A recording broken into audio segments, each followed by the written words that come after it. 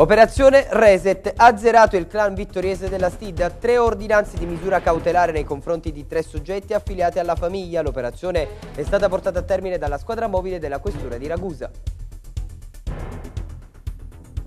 Ritrovata l'autovettura in contrada Berdia utilizzata dai ladri che la notte tra sabato e domenica hanno tentato due colpi, uno a Ragusa e uno a Santa Croce Camerina. Nuova protesta annunciata dai dipendenti delle nove ex province regionali domani all'Ars a Palermo. Intanto oggi a MTG interviene il capo di gabinetto dell'ente, Gianni Molè. È andata in archivio la Pasqua, boom di ascolti anche quest'anno per Pasqua Play edizione 2016 e il successo della Pasqua a modi che è stato caratterizzato anche dai tre baci serali della Madonna Vasa Vasa.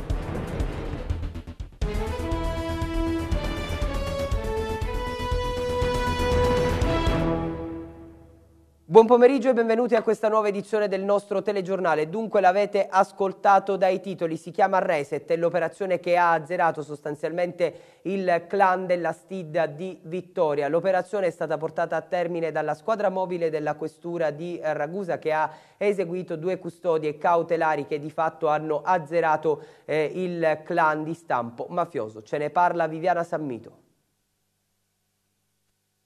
Sono stati ristretti in carcere stamattina i due figli di Filippo Ventura del clan carbonaro dominante della Stidda, Angelo detto Elvis di 29 anni e Jerry di 27, accusati di associazione a delinquere di stampo mafioso e detenzione di una pluralità di armi di diverso tipo, fucili di precisione utilizzati dai cecchini e con matricola brasa. Le ordinanze di custodia cautelare sono state emesse dal GIP presso il Tribunale di Catania su richiesta della Procura distrettuale antimafia Etnea ed eseguite dalla squadra mobile di Ragusa, degli agenti del commissariato di polizia di Vittoria anche nei confronti del 31enne Marco Di Martino già detenuto genero di Filippo Ventura. Nella disponibilità di Di Martino, arrestato in flagranza di reato nell'ottobre 2015, era stato rinvenuto un arsenale, armi di diverso tipo, alcune delle quali con matricola brasa risultate rubate, cinque fucili dotati di congegni di puntamento ottici per tiro di precisione balistica, tre pistole, una penna pistola, un giubbotto antiproiettile, materiale per fabbricazione di esplosivi, polvere da sparo, pressa per confezionamento di cartucce e un migliaio di munizioni. Determinanti e fondate si sono rivelate le dichiarazioni di cinque collaboratori di giustizia, i quali hanno sostenuto che l'arsenale era nella piena e pronta disponibilità del clan e in particolare dei tre indagati la squadra mobile del commissariato di Vittoria, con l'ausilio delle unità cinofile della Polizia di Stato esperto di ricerca di armi esplosivi e stupefacenti, stanno continuando le indagini con perquisizioni nelle abitazioni dei due fratelli Ventura per rinvenire altre armi o sostanze stupefacenti. Con l'operazione denominata Reset, gli investigatori ritengono di aver così azzerato i vertici della famiglia guidata da Filippo Ventura, riconducibile al clan dominante carbonaro della Stidda. E continuiamo a parlare di cronaca, ci occupiamo del ritrovamento dell'autovettura trovata in contrada Berdia in territorio Ipparino. Questa autovettura era stata utilizzata per tentare due furti con il metodo della spaccata. A portare a termine l'operazione la polizia del commissariato di Vittoria. Ore 3 di domenica mattina in via Achille Grande a Ragusa alla cassa continua di un negozio di elettrodomestici in un centro commerciale viene fatto esplodere un ordigno artigianale nel tentativo di rubare denaro. I carabinieri arrivati sul posto non trovano nessuno ma solo pezzi di miccia detonante. Durante i rilievi il 112 viene allertato per un'altra operazione incontro da Pezza a Santa Croce Camerina. Il secondo obiettivo dei malviventi sempre con la stessa modalità, un tentativo di scasso alla cassa continua di un supermercato dove vengono rinvenuti pezzi di micce detonanti identiche a quelle trovate a Ragusa. La porta della cassa non si apre, in entrambi i casi i malviventi scappano senza portare via nulla. I responsabili dei due esercizi commerciali comunque confermano che entrambe le casse continuano erano vuote. I militari dell'arma proseguono le indagini con la visione delle telecamere di videosorveglianza, constatando che l'auto utilizzata per mettere a segno i colpi è una Mercedes Coupé, rubata in un garage e di proprietà di un questore in pensione. La vittima raggiunta nella sua abitazione ha riferito di non essersi accorta del furto. L'auto è stata rinvenuta domenica mattina dalla polizia incontrata a Berdia in territorio di Vittoria vicino ad alcune serre. Sul posto è intervenuta la polizia scientifica che ha effettuato rilevi tecnici. Diversi prelevi di impronte digitali che ulteriormente sviluppate potranno consentire di dare un'identità ai ladri. Gli investigatori ipotizzano che a compiere il colpo siano stati almeno in tre ed è anche probabile che siano stati favoriti nell'esecuzione del piano da un basista che li ha accompagnati a Marina di Ragusa per rubare l'auto con le chiavi già inserite nel quadro ed è anche probabile che lo stesso complice li abbia attesi per la fuga nello stesso luogo dove è stato rinvenuto il mezzo rubato. Su queste ipotesi stanno ancora proseguendo le indagini. Ci spostiamo a Pozzallo per parlare del nuovo sbarco che si è registrato nelle ore di questa mattina. Sono arrivati alle 8 alla banchina portuale. Le operazioni di sbarco però sono iniziate poco dopo le 10.15 ad arrivare 730 persone. Nuovo sbarco questa mattina a Pozzallo, ad arrivare 730 persone, i migranti salvati qualche giorno addietro ad una trentina di miglia dalle acque libiche erano a bordo di sei gommoni su cui viaggiavano rispettivamente per ognuno circa 100 persone. I 730 sono arrivati a Pozzallo intorno alle 8 di questa mattina a bordo della nave battente bandiera norvegese Sign Pilot. Poco dopo le 10.15 sono iniziate le operazioni di sbarco e con queste i lavori di fotosegnalamento. 500 degli oltre 700 arrivati nella giornata di oggi saranno trasferiti. Per il gruppo infatti sono previste diverse mete dal luogo di arrivo e raggiungeranno, non appena terminati gli accertamenti, i territori di Catania e Messina. A Pozzallo, infatti, ne potranno rimanere non oltre 180. Secondo quanto emerge dalle visite mediche, a parte la stanchezza e il senso di spossatezza per via del viaggio, non si registrano problemi di salute gravi per i migranti. Una decina di donne incinte poco più di quattro persone sono state ricoverate. Le future mamme e i malati per malesseri generali si trovano adesso nei tre nosocomi ragusani, il Guzzardi di Vittoria, il Civile di Ragusa e il Maggiore di Modica. Le operazioni di sbarco si sono protratte per tutta la mattinata e hanno visto l'attivazione della task force delle forze dell'ordine che sta lavorando affinché siano garantiti alla giustizia italiana gli scafisti che hanno messo a rischio la vita di 730 persone caricate su sei gommoni. È stata la segnalazione da parte di un gruppo di persone ai centralini della polizia a segnalare la presenza sulla spiaggia di Baia Dorica in territorio di Vittoria di un pacco contenente 30 kg di hashish.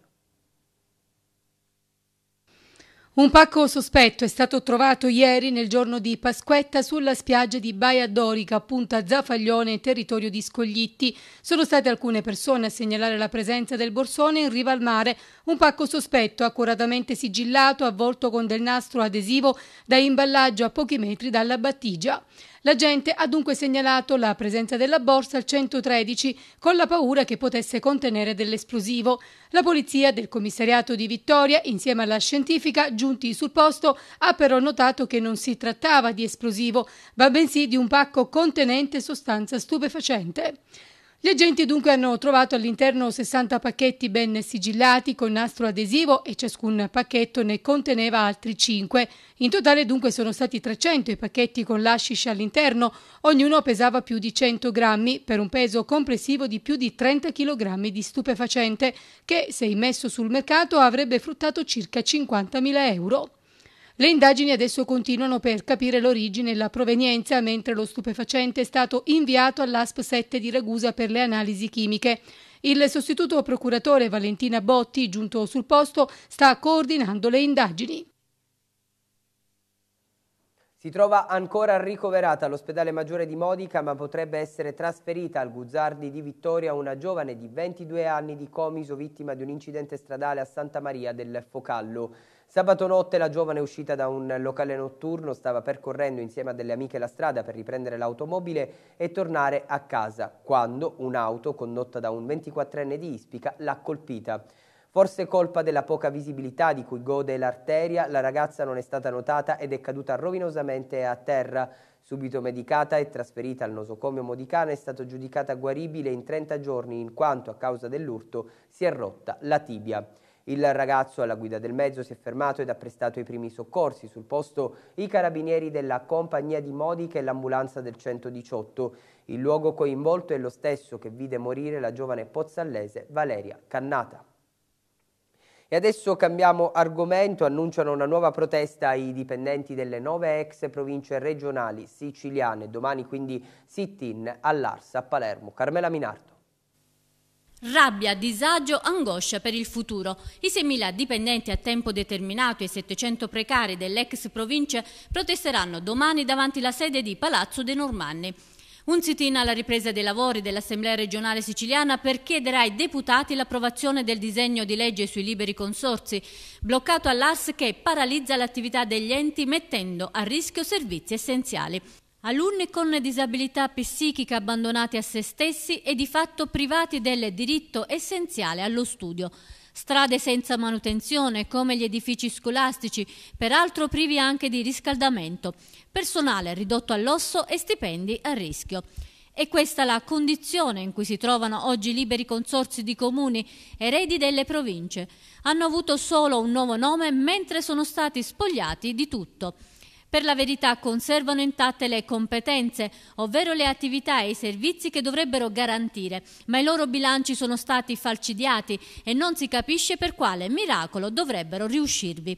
La legge di stabilità 2015 ha inferto loro un duro colpo, stabilendo che province e città metropolitane riducano la spesa corrente di un miliardo nel 2015, 2 miliardi nel 2016 e 3 miliardi nel 2017 il che per Ragusa ha comportato un taglio di oltre 4 milioni e mezzo lo scorso anno, 9 milioni quest'anno e quasi 14 milioni il prossimo. Il tutto a fronte di entrate complessive per 30 milioni. In questo quadro è impossibile garantire i servizi, a rischio gli stipendi e il pagamento delle rate di mutuo. Il dissesto, insomma, è dietro l'angolo. Se tutto ciò è frutto di provvedimenti decisi dai governi nazionali e dal Parlamento, rimane gravissima e ingiustificabile l'inerzia della Regione, che in questi anni non ha saputo imboccare una via chiara sul futuro dell'ente intermedio, che peraltro in Sicilia rientra nella sua competenza. E così, mentre le province sono ad un passo dal fallimento, a Palermo si discute ancora se recepire la legge del Rio o lanciarsi nell'avventura di uno scontro con il governo nazionale. In una realtà come Ragusa, dove la provincia non è più in grado di curare la manutenzione di strade e scuole, né di assistere i disabili e pagare i dipendenti, non si comprende il ruolo dei cinque deputati regionali. Nello Di Pasquale, Giorgio Assenza, Orazio Ragusa, Vanessa Ferreri e Pippo Di Giacomo. Nessuno ha assunto un'iniziativa all'altezza della gravità del problema per tentare di scuotere un governo regionale incapace, confusionario e inconcludente e per battersi per una exit strategy in grado di garantire la continuità dei servizi. Senza dire che in un territorio come quello ebleo, dall'identità forte e ricco di risorse autoprodotte, un nuovo assetto dell'ente intermedio, deciso dal basso e sostenuto dalle forze politiche e sociali, avrebbe potuto segnare un salto di qualità rispetto alla provincia che abbiamo conosciuto. Invece si va di male in peggio e questa è una precisa responsabilità dei deputati di questa legislatura, oltre ovviamente al governo Crocetta e alla coalizione quasi mai maggioranza che lo sostiene. E sulla drammatica situazione che stanno vivendo i lavoratori delle ex province regionali, noi abbiamo ascoltato il capo di gabinetto dell'ente di Viale del Fante, Gianni Molè. Sentiamo l'intervista. Una situazione drammatica quella che stanno vivendo le ex province, in particolare anche quella di Ragusa, con tagli a servizi essenziali. Situazione drammatica perché non arrivano risposte da parte dell'Assemblea regionale siciliana. Il Parlamento non ha deliberato, non ha discusso, non ha definito la legge di riordino dei liberi consorzio comunali, ha rinviato per l'ennesima volta al 30 marzo perché c'è una grande difficoltà a definire questa legge la vera polemica è se il sindaco della città metropolitana deve eh, coesistere con quello del sindaco della città capoluogo, quindi il problema è Orlando Bianco e Accoriti. Su questo problema il Parlamento si è bloccato. Tra l'altro vi è anche un braccio di ferro con Roma che non si definisce, la regione siciliana non riesce a dire va bene la legge del Rio che potrebbe appianare questa divergenza che c'è col governo Renzi oppure decide di andare a fare ricorso alla consulta, ma nel momento in cui si resta in mezzo al guado tutto resta bloccato con grave ripercussione per i servizi essenziali. Da questo punto di vista si può dire che la deputazione Blea è latitante? Da questo lato non c'è un forte intervento di interlocuzione, cioè nel senso il Parlamento siciliano è diviso, non c'è una maggioranza forte e credo che la deputazione in questo momento eh, non abbia una posizione ben chiara su cosa vuol fare per il libero consorzio comunale. In eh, assemblea non c'è una maggioranza che decide se approvare la riforma del Rio oppure andare allo scontro con lo Stato e fare una legge ex novo. Cambiamo argomento, la sezione misure di prevenzione del Tribunale di Catania, accogliendo la proposta della DDA della locale procura avanzata dopo le indagini dei carabinieri del ROS di Catania, ha disposto per sei mesi l'amministrazione giudiziaria di 24 società consortili controllate da Tecnis SPA, Artemis SPA e Cogip Holding SRL Quest'ultime tre società riconducibili agli imprenditori Mimmo Costanzo e Concetto Boscolo Giudice, indagati nell'ambito delle inchieste da Manera 1 e 2 della Procura di Roma su presunti tangenti all'ANAS, sono in amministrazione giudiziaria dal 12 febbraio scorso. Tra le società sottoposte per sei mesi alla misura dell'amministrazione giudiziaria eseguita dai carabinieri del ROS c'è anche quella del porto turistico di Marina di Ragusa.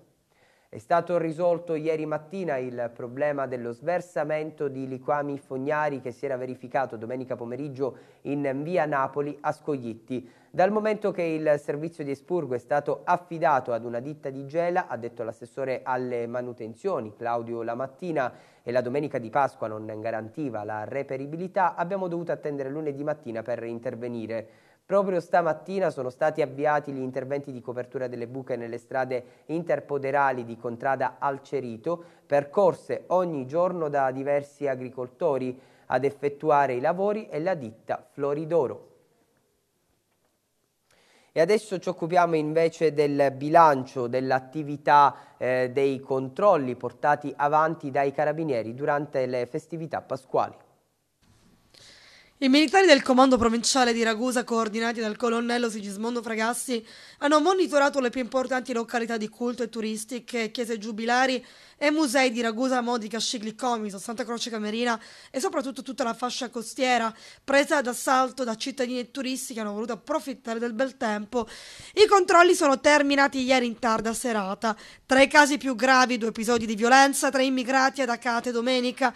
Un 33enne tunisino è stato deferito per aver ferito al palmo della mano con un grosso coltello da cucina un 35enne connazionale causandogli una profonda ferita che ha comportato l'intervento del personale del 118 morto e la sutura con diversi punti.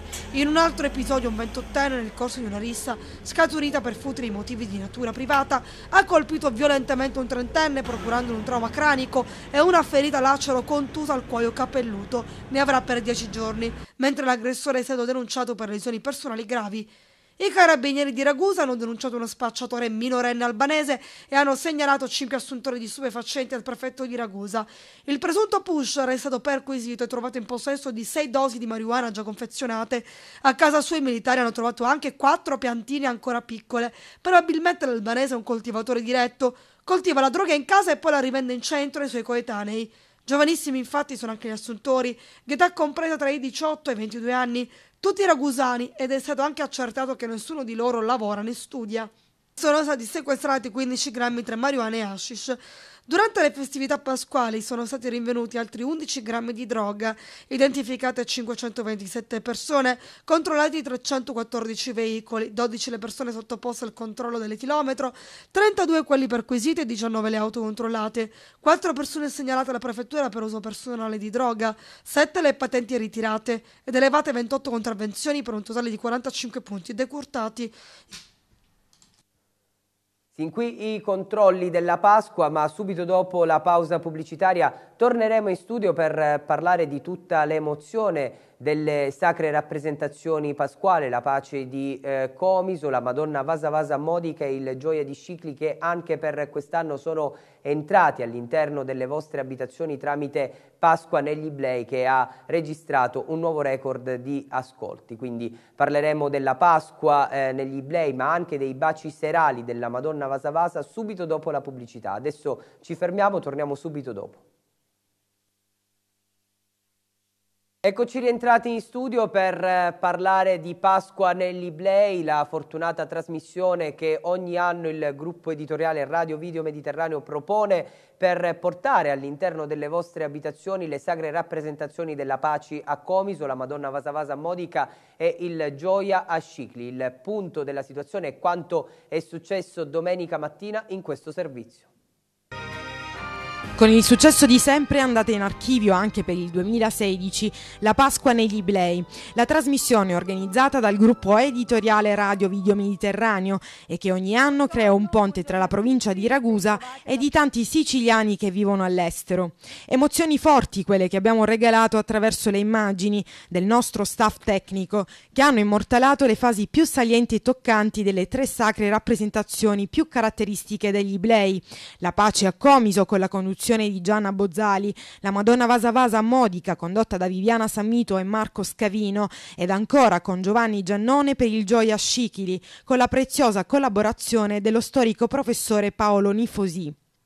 Le tre postazioni erano coordinate dal direttore Catiuscia Carpentieri, che ha condotto dagli studi televisivi del centro operativo di Modica. Insomma, un format televisivo ormai consolidato negli anni e creato proprio per i siciliani che vivono all'estero e che ogni anno con le loro telefonate e messaggi ci dimostrano l'affetto per la Pasqua negli Iblei, gratificando il lavoro di quanti ci sono dietro la realizzazione di questa trasmissione. Quattro ore di diretta, dunque, durante la quale fede e folklore si sono intrecciate, regalando le emozioni e le sensazioni che solo la Santa Pasqua sa trasmettere. Una diretta divulgata in tutto il mondo tramite il nostro sito web, così come ci testimoniano le telefonate arrivate da Boston in America e da Rio de Janeiro in Brasile. Dunque anche quest'anno la Pasqua negli Iblei è andata in archivio, registrando un boom di ascolti. Un ringraziamento va come sempre ai tanti fedelissimi telespettatori che ci seguono in tutta Europa e non solo, grazie anche a Sicilia Sat. Non ci resta altro che rinnovare dunque l'appuntamento all'edizione 2017 con la Pasqua negli Iblei. E il successo della rappresentazione sacra della Madonna Vasa Vasa quest'anno ha visto anche eh, i tre baci in notturna che eh, hanno riscosso davvero tanto successo. Sentiamo. Era stato annunciato da tempo, novità di questa edizione della Madonna Vasa Vasa sono stati i tre baci serali voluti in occasione del Giubileo della Misericordia da padre Forgione, parroco della chiesa di Santa Maria di Betlem. Fedeli visitatori e tantissimi turisti hanno gradito la doppia processione. La manifestazione serale ha preso il via dopo la celebrazione della Santa Messa, presieduta da Monsignor Angelo Giordanella, vicario generale della diocesi di Noto. I portatori della Madonna e del Cristo risorto sono stati preceduti dai portatori di San Giorgio con la tipica divisa in rosso. A seguire la banda Belluardo Risadelli di Modica, che ha animato la processione e per l'occasione è stato eseguito per la prima volta un inno inedito scritto dal modicano e maestro Sergio Civello. Il primo bacio serale è avvenuto in piazza Corrado Rizzone. Anche in questo caso la Madonna Vasa Vasa, manovrata dai portatori, si è avvicinata al Cristo risorto e inclinandosi l'ha baciato sul petto. Pochi istanti dopo l'atteso e suggestivo spettacolo pirotecnico. Il secondo bacio notturno è avvenuto invece nella piazza antistante il santuario della Madonna delle Grazie, a cui è seguito il passaggio dalla Porta Santa e un altro bacio all'interno della chiesa. Terzo bacio serale esterno al centro di piazza Matteotti, dove nel frattempo si era radunata la folla con numeri significativi. La gioia dei portatori e dei fedeli ha poi portato ad un quarto bacio serale esterno dinanzi la chiesa di Santa Maria di Betlem ed infine ad un ulteriore bacio all'interno della chiesa dinanzi all'altare, prima di riporre definitivamente due simulacri. Il successo di domenica sera ha spinto padre Antonio Maria Forgione a ipotizzare l'istituzionalizzazione dei momenti serali della festa, momenti che hanno trovato il pieno consenso del pubblico e indirettamente sostenuto i commercianti del centro storico, molti dei quali hanno garantito l'apertura dei propri esercizi. E domenica sera a Ragusa Ibla è avvenuto il tradizionale rito della Scinnuta. I solenni festeggiamenti in onore del santo martire Giorgio hanno preso il via con un particolare momento religioso. Erano in centinaia i fedeli presenti che hanno assistito con trepidazione alla cerimonia della traslazione del simulacro del Santo Cavaliere dalla nicchia in cui viene ospitato tutto l'anno sino all'abside del Duomo. Effettuata la scinnuta, i componenti del comitato che cura i festeggiamenti hanno proceduto a sistemare la lancia d'argento che colpisce il drago e le staffe del Santo Cavaliere. Qualche minuto prima stessa procedura era stata effettuata per la traslazione dell'Arca Santa, anche in questo caso utilizzando un sistema eh, molto ingegnoso ed efficiente, utilizzato da un centinaio d'anni circa a questa parte. La festa di San Giorgio è prevista il 3, il 4 e il 5 giugno prossimi. Un flash mob organizzato per ieri, giorno di Pasquetta a San Pieri dal Movimento Azzurro, dal Comitato Notriv. Ieri pomeriggio c'erano anche Siciliani Liberi, Movimento 5 Stelle, Legambiente ed Ente Fauna, una manifestazione per dire no alle trivellazioni e sensibilizzare le persone sul tema dell'inquinamento da idrocarburi, invitando quanta più gente possibile a votare sì al prossimo referendum. Nei dettagli è stato simulato un incidente su una piattaforma petrolifera con conseguente sversamento in mare. L'occasione è servita anche per parlare di sicurezza delle piattaforme, dei danni alla salute confermati, così come hanno sostenuto gli organizzatori, delle analisi dei eh, sedimenti e dei mitili prelevati presso le strutture. Infine, le associazioni hanno lanciato singoli appelli per toccare il cuore e la mente dei presenti. È tutto per questa edizione del nostro telegiornale. Grazie per averci scelto e buon proseguimento su Video Mediterraneo.